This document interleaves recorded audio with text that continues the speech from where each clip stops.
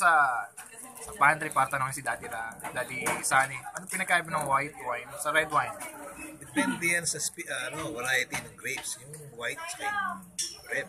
Yung white, ginagawang white wine. Yung red, ginagawang red wine. Yung red wine, pag meat ang kinakain mo, yun ang inumin mo. Pero pag fish ang kinakain mo, white wine. Ay, kapag fish Daddy, Pag fish, usually white wine. white wine.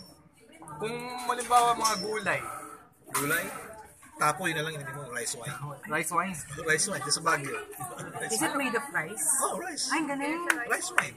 Kumbaga sa Japan, sake. Sa, Sake, pag, rice wine. sa Korea, Hindi soju. Ah, oh, soju. Yun, nakatikim na kayo. Yung soju. Yung ano, yung, uh, yung rule nila sa sa Korea, kunyari ka mas bata sa akin. Tanda ako. Iinom ka ng wine. Kunyari, ako ikaw, no? Ganito ako minom. Hindi ako pwedeng umarap sa'yo. Ah, bakit daw? Bad manners yun. tatalikod. Sa Korea. Tatalikod ka. Tatalikod ka. Sila, yun ang proper respect sa Korea. Pero kung pareho kayong Oh, yeah, yeah, yeah. Kumpara tayo, ah, pare. Anong maganda lagi sa white wine? Iniinom ng white wine. Basta yung red wine, good for your heart. Basta drink, drunk in moderation. Yung white wine, Hindi ako mahilig sa white wine.